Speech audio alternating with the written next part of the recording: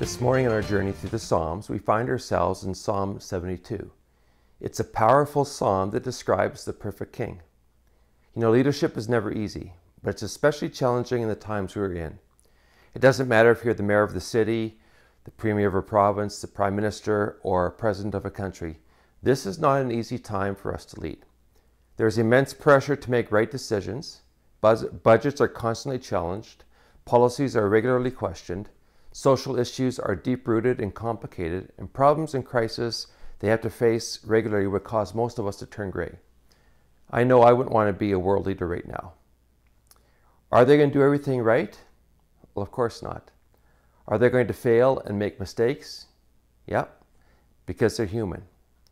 And we've come to accept their humanness, which is why this psalm is so amazing, because it describes a king who is perfect in every way a king who rules his kingdom without error or bad judgment. So, how does this perfect king rule his kingdom? Well, verses 1 to 4 tell us. They say, Give the king your justice, O God, and your righteousness to the royal son. May he judge your people with righteousness, and your poor with justice. Let the mountains bear prosperity for the people, and the hills in, in righteousness. May he defend the cause of the poor of the people, give deliverance to the children of the needy and crush the oppressor. This king rules with righteousness and justice. Wouldn't it be awesome to have a leader over us whose character and integrity we could always trust, whose eyes are drawn to the injustice of life, and whose policies defended the cause of the broken and brought justice to the afflicted? This is the kind of leader the world is longing for today. It's the kind of leader that would definitely have my vote. And the king uh, the psalmist speaks of is this king. He's from above. The psalm is a messianic psalm describing a heavenly king appointed by God who will rule with righteousness and justice. It's a psalm describing Jesus the king. And God has given him the authority to rule over his kingdom. But it's a very different kingdom from anything we see on earth. It's a kingdom where the king will help people to be reconciled to God. It's a kingdom that brings peace to the people. And it's a kingdom that brings justice to the poor. The clear message is that when the poor can't find justice anywhere else, they can find it in this King of Heaven because he rescues the vulnerable and cares for the poor.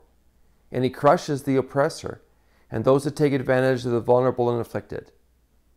Under King Jesus, the poor who are often exploited by the rich will receive the attention of God. Now, isn't that a beautiful image of life under this perfect king? Well, what's the response of the people to this perfect king who will rule with righteousness and justice? Well, verse 11 tells us let all kings bow down to him and all nations serve him.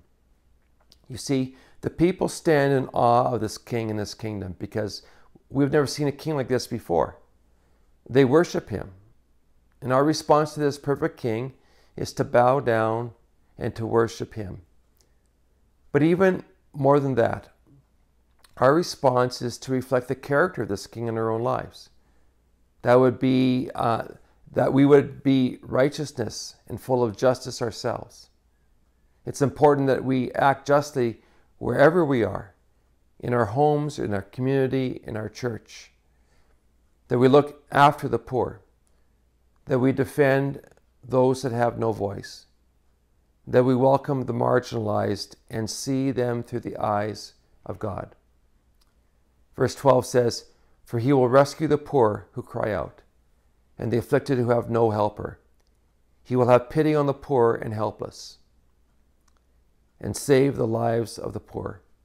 He will redeem them from oppression and violence, for their lives are precious in his sight.